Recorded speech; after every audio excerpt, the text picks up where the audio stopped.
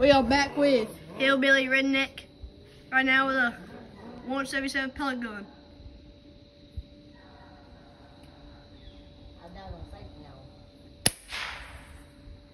Wait, one more shot.